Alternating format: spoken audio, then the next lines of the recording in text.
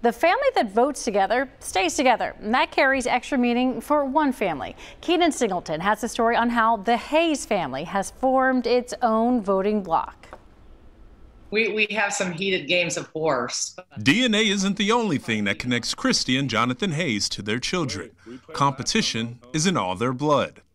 They may no longer share a roof with Jaxson and Jillian, their two eldest children, but they all share the same message on this election day.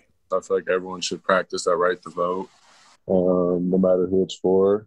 Jaxson is the former Moeller star and just wrapped up his rookie season in the NBA with the New Orleans Pelicans. Jillian is weeks away from playing her freshman season with the Bearcats. They're both stepping into a new arena for the first time. It's our first time to vote. It's the first time we can make an impact on the election and all that's going on. Jillian voted today. The NCAA gave all collegiate athletes the day off to head to the polls. Jaxson mailed his in from Los Angeles two weeks ago.